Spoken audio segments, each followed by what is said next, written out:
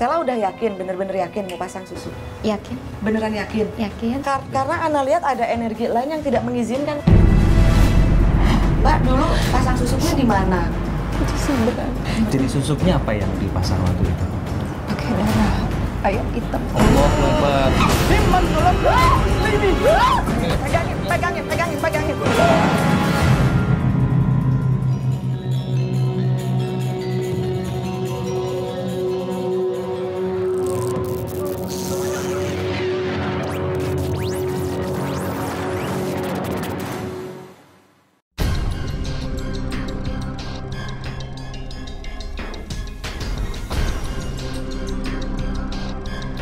Indonesia kaya akan keberagaman budaya dan peninggalan sejarah. Sebagian mengandung unsur mistis yang sangat kental. Mulai hari ini, jejak leluhur akan hadir setiap Sabtu malam untuk mengupas dan menelusuri fenomena budaya dan sejarah yang tak selalu mudah diterima secara logis.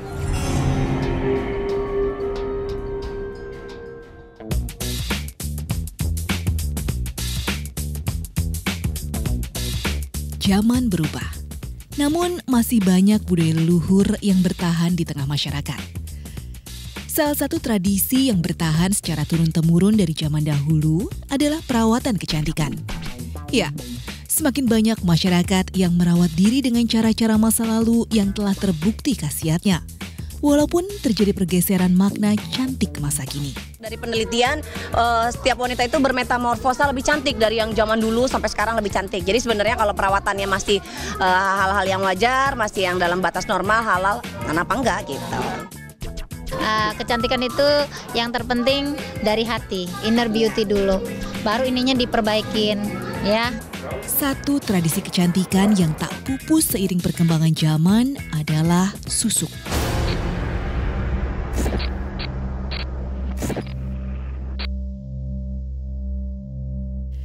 Kata yang bernuansa mistis ini masih menjadi pilihan untuk menambah kepercayaan diri seseorang. Walaupun praktek pemasangan susuk masih terus berkembang, tak banyak pemakai susuk yang berani mengaku sebagai pengguna jasa susuk.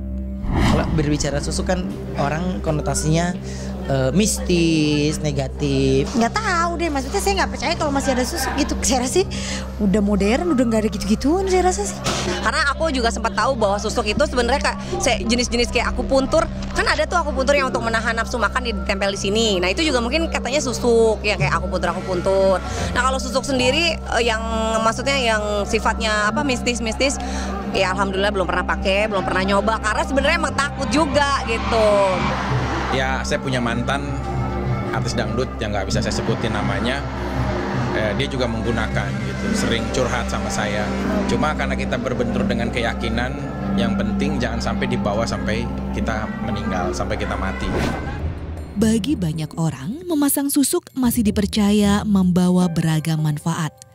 Tapi pemasangan susuk tidak bisa sembarangan. Mengingat ada efek negatif bila salah memilih tempat memasang susuk. Dan juga nggak sembarangan sih, itu bukannya kita dipasang datang ke orang dipakai selesai. Dan itu harus menapakkan setahu saya 21 hari. pakai susuk makan sate gini susuknya rontok katanya hilang gitu pernah dengernya begitu tapi sampai sejauh ini sih saya belum belum paham belum terlalu ngerti banget sih Katanya itu nggak boleh dibawa jemuran, nggak boleh makan makan pisang, ya, nggak boleh makan eh, nggak boleh makan teri gitu. nggak boleh makan sate di saat malam Jumat, khususnya Kamis-Kamis Legi. Terus tidak boleh ketemu dua binatang, satu babi, dua monyet.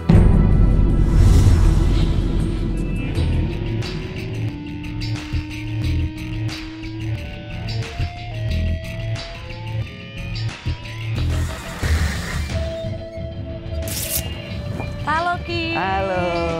Apa kabar Ki? Lama nggak ketemu nih. Lama sekali ya. Ah, ah. Ana ke sini ada banyak sekali yang mau Ana tanya Ki. Siap, insya Ah, ah. Allah. Ana tuh keingetan Aki tuh sudah berapa lama sih melakukan praktek pemasangan dan pelepasan susuk? Secara formal artinya diakui masyarakat mungkin ya sekitar 15-20 tahun. Kita sama-sama di bidang spiritual, tapi jujur Ana tidak eh, melakukan praktek susuk. Makanya Betul, banyak betul. sekali hal yang mau Ana tanyakan. Gini aja, untuk lebih jelasnya, lebih terprivasi, ini kan gak enak ramai Iya, ya. betul, betul, Kita ngobrol-ngobrol di tempat Oke, saya. yuk, Yuk, oke, yuk. Ana.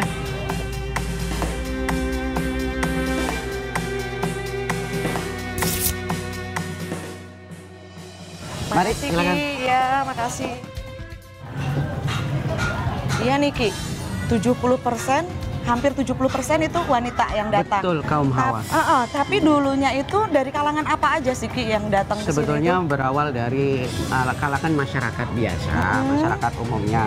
Namun kekinian seiring dengan ya sekarang ini uh, lebih banyak juga ke merambah dunia entertainment para artis bahkan ada kepentingan-kepentingan khusus seperti orang mau persiapan pilkada Oh, iya iya iya. meraih jabatan suksesinya gitu, Mm-mm, seperti mm-mm. itu Iya. para atlet itu juga banyak karena ada football apa Mm-mm. futsal Iya, ya kan uh-uh. ada voli Poli, gitu, ya. itu. Semisal Betul. atlet sepak bola, dia pasangnya di mana? Yang Di Ana di kaki, kaki ya, gitu. supaya power kakinya lebih. untuk ini bola voli agar smashnya Smash lebih powerful pakai susuk di sini Oh telapak iya tangannya. iya iya. Jadi dengan niat dan tujuan yang berbeda-beda ya Ki ya. Iya dan tentunya ya punya dengan media yang disesuaikan dengan untuk unsur tadi eh, kekuatan kekuatan atlet untuk kekuatan iya ya. betul mari mari anak Oh ayo iya masuk. Makasih Ki.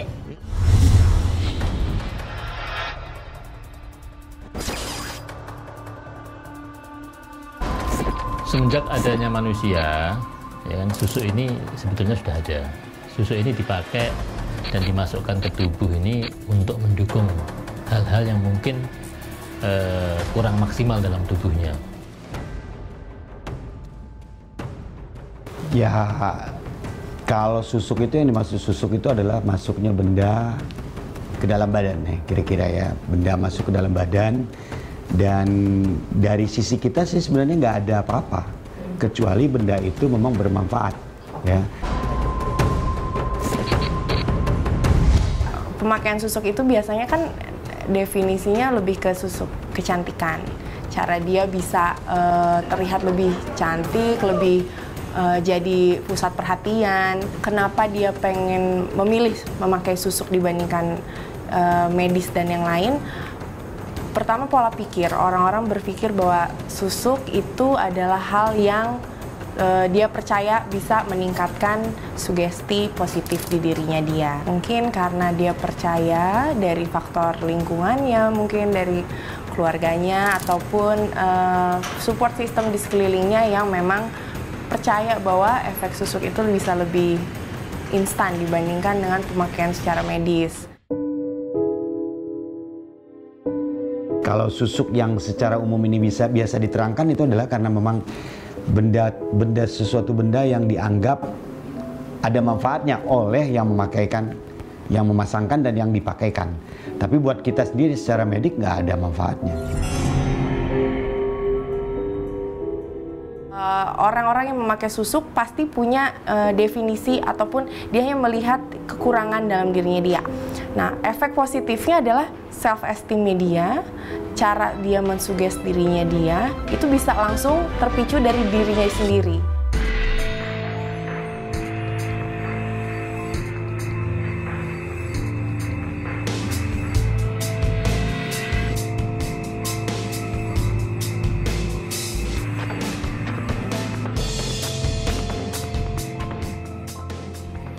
Bicara tentang susuk, masih banyak masyarakat di Indonesia yang percaya ketika menggunakannya mampu membuat orang lebih cantik.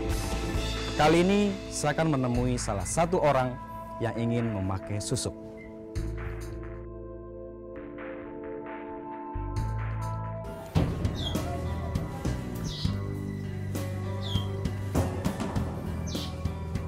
Assalamualaikum.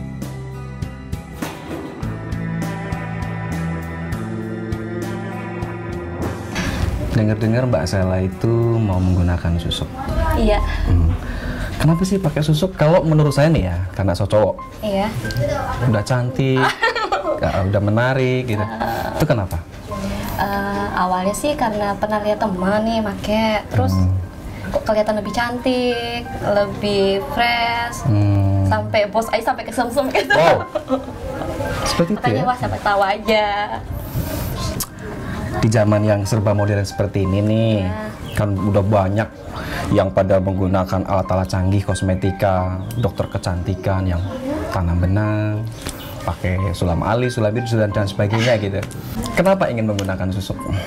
Eh, sebenarnya udah pernah nih nyoba untuk kayak krim-krim malam itu pernah sih cuma karena ngeliat temen kok beda banget ya sejak dia pakai yang susuk itu ya makanya coba ah terus tempat nanya masangnya di mana? Terus sama siapa? Sakit atau enggak? Ya udah. banyak sekali yang yang percaya tapi juga banyak yang pro kontra nih dengan dengan susuk ya. Artinya orang yang menggunakan susuk masih banyak yang ketakutan kalau menggunakan susuk nanti matinya susah misalnya. Jadi ada agak gitu kalau menurut Mbak Sela gimana? Eh, sempat dengar juga Hmm. sempat tanya-tanya sama teman yang pernah make. Eh, kalau misalnya kalian pakai gitu efeknya apa sih soalnya pernah baca juga nih kalau misalnya pakai susuk bisa eh, saat hatinya sengsara kayak gitu-gitu. Terus ah enggak itu mah katanya itu yang dulu-dulu. Kalau sekarang mah lebih lebih ini lagi sih. Yang penting dari dari kitanya aja juga. Iya sih dari pengalaman saya.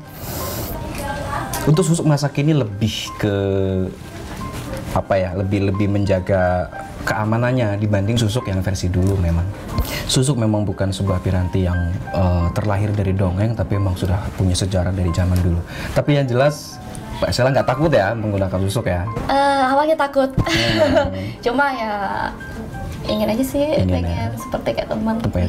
Nah, selain untuk kecantikan, ada keinginan apa yang lebih khusus gitu atau lebih spesifik buat buat Mbak Sela? pengen dapat jodoh yang terbaik Oke.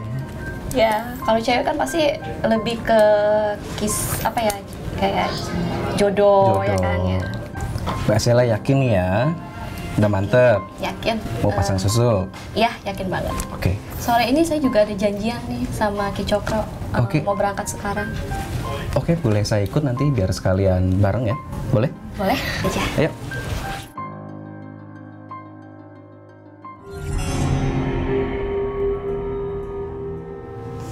Mari, Mbak Ana. Ayo Ana, Ya, sini Ki. sini. Silakan, silakan kita ngobrol-ngobrol. Siap, Mau ya. lanjutin yang tadi nih Boleh, Ki. boleh. Jadi Ana tuh penasaran, eh, Aki bisa pasang susuk itu belajar atau otodidak?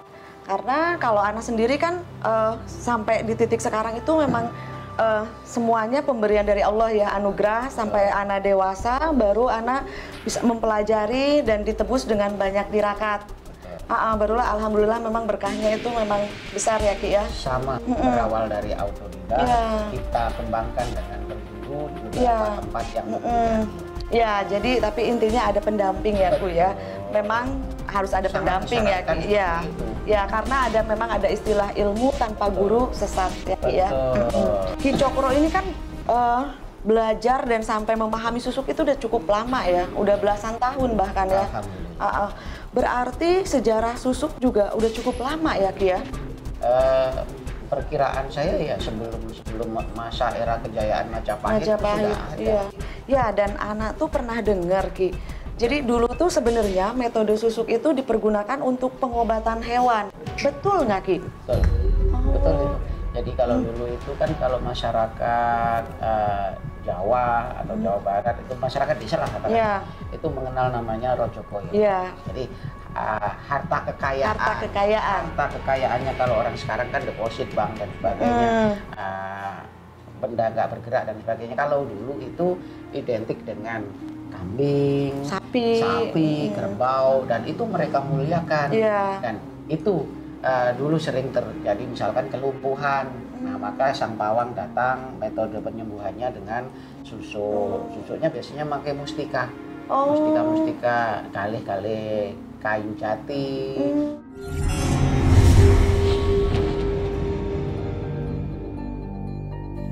Ada beberapa kisah sejarah susuk di Nusantara. Beberapa sumber menyebut susuk telah ada pada era kerajaan Kutai sekitar abad keempat. Para petinggi kerajaan disebut-sebut memanfaatkan susuk untuk meningkatkan kewibawaan di mata rakyat dan musuh-musuhnya. Kalau dalam catatan sejarah belum pernah tercatat ya seorang raja atau seorang pembesar kerajaan atau seorang yang punya kedudukan tinggi pakai susuk. karena mereka juga susuk ini bukan satu-satunya yang diandalkan banyak keilmuan-keilmuan lain banyak eh, hal-hal yang lain yang mereka andalkan sebetulnya tapi pada dasarnya si pemakai susu itu jarang diketahui orang Nah, seorang yang ketahuan pakai susu apa enggak ini hanya bisa dilihat sama orang-orang yang punya mata tertentu aja sebetulnya benda itu cuma media. Media susuk di antaranya sekarang kan ada yang pakai emas, pakai berlian, terus ada yang pakai samber lilin. Nah, jenis hewan tertentu yang warna hijau itu samber lilin dipakai. Terus ada yang pakai gabah, ada yang pakai kandil atau gading. Kalau dari hebat mana, sebetulnya semua relatif ya, tergantung yang masukkan susuk itu siapa.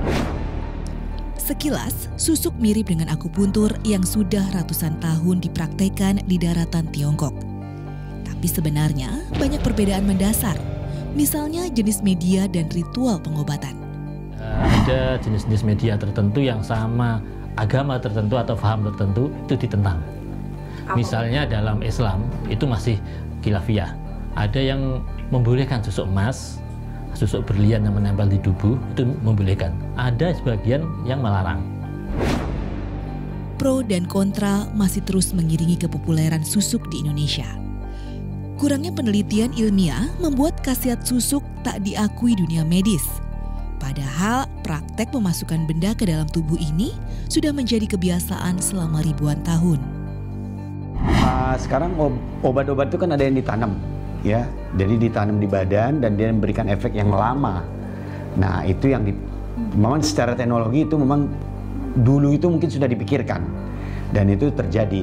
Tetapi yang pada umumnya yang yang diterangkan tadi susuk yang disampaikan tadi itu beda.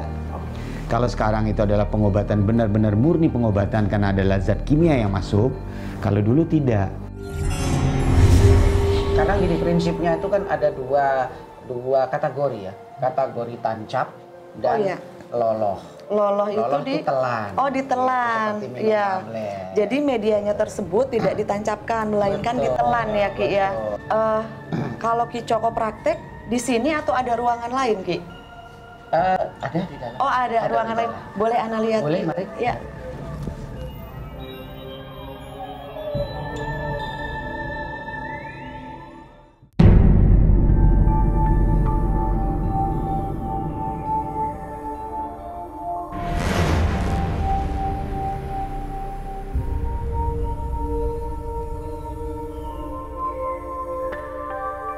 Jadi pemasangan susuk juga di ruangan ini ya, Ki ya? Di antaranya pasang Heeh. susuk juga di sini, mendengarkan curhat, dari Curhat. klien juga di Iya, sini. iya, iya. Bentar lagi kalau nggak salah datang, kemarin Oh. saya sudah janjian. Oh, udah ada janji sama Betul. pasien. Mau pasang susuk juga ya, Ki ya? Eh, lewat telepon sih kemarin katanya sih seputar emas, cuman dia Oh, belum bisa iya. menentukan antara emas eh, tancap ataukah eh, emas lebur Iya. atau emas telan. Kalau di Aki ini setelah orang-orang yang datang melakukan pasang susuk, apa ada pantangan-pantangan tertentu? Saya pernah break lima tahun tidak mau pasang susuk. Nah itu kenapa? Karena saya mencoba melakukan revolusi batin, olah Iya, batin. iya. Karena apa? Pingin pasang susuk itu kan ingin merdeka, Mm-mm. tapi ini malah dikekang oleh banyak aturan. Iya, gitu. dan Ana pun pernah mengalami kedatangan satu orang, lebih dari satu orang ya Ki ya. Oh. Nah minta dikeluarkan. Susuknya nih susuk Kenapa emas itu? seperti ini katanya, gurunya sudah nggak ada. Dia datang lagi ke daerah tersebut sudah tidak ada.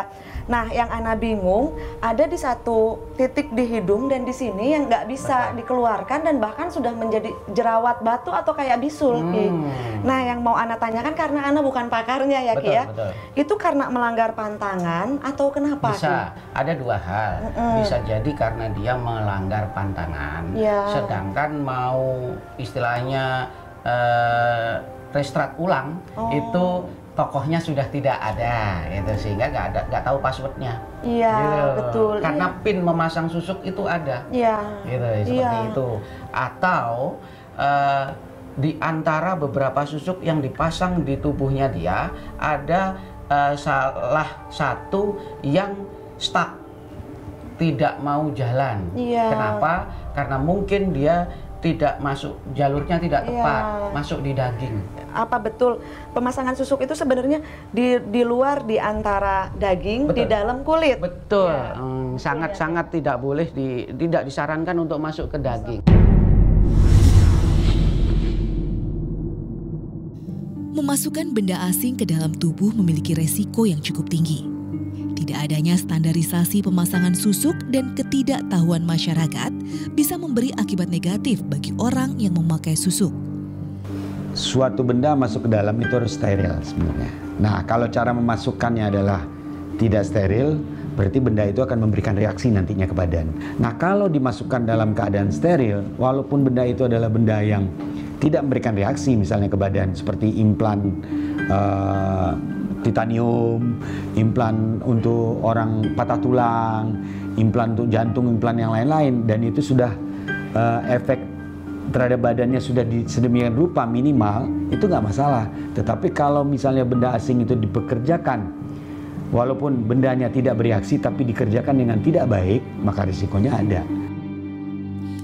Walau tidak semua praktek pemasangan susuk beresiko, kemungkinan kegagalan cukup besar apabila datang ke pemasang susuk yang kurang ahli. Bukan hanya akibat pada fisik, ada resiko kejiwaan yang membayangi pemasang susuk yang gagal. saat hasilnya tidak dia lihat dalam waktu dekat dan dia sudah mencoba eh, pemakaian susuk mungkin dengan proses yang berkali-kali misalnya dan itu tidak terlihat hasilnya sama sekali itu bisa menimbulkan gangguan juga dalam dirinya dia. Paling simpel adalah stres. Saat ternyata dia pakai susuk dan hasilnya lebih eh, tidak ada ataupun tidak terlihat malah dia mungkin bisa stres bisa depresi. Kehati-hatian dan riset ahli pemasang susuk menjadi kunci penting sebelum memasang susuk untuk meminimalisir resiko bagi jiwa dan raga Anda. Nah, anak mau tanya nih, Kak, ya Ki ya, supaya orang-orang yang berniat untuk pasang susuk tapi tidak sembarangan dan mendapatkan efek samping yang berbahaya, Betul. itu harus pasang susuk ke spiritual yang seperti apa? ilmu yang dimasukkan, tuah yang dimasukkan di dalam susuk, di dalam media susuk, ada yang berlandaskan uh, white magic, Iya. ilmu putih, Iya. ada yang black magic, Iya. ilmu hitam. Tentunya disarankan carilah tokoh yang berbasis ilmu, Ilmu putih, supaya ya. tidak membahayakan. Aspek ketuhanannya masih Iya. vertikal, masih Iya. ada kan gitu. Nah, Betul. Tentunya biasanya dia tidak akan menggunakan media-media yang aneh-aneh.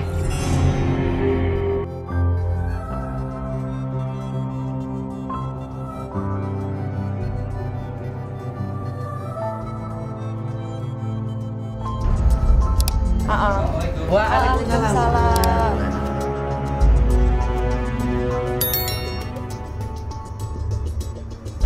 udah yakin, bener-bener yakin mau pasang susu? Yakin? Beneran yakin? Yakin? Bener? Bener. Ada Soalnya, leluhurnya itu di belakang. iya, kar- karena Ana lihat ada energi lain yang tidak mengizinkan, bener nggak sih Mbak? Mbak dulu pasang susuknya di mana? Justru berat. Jenis susuknya apa yang dipasang waktu itu? Pakai darah ayam hitam. Allahu Akbar. Saya sudah berintuisi nih. Tadi bau amis tadi ya. Kan?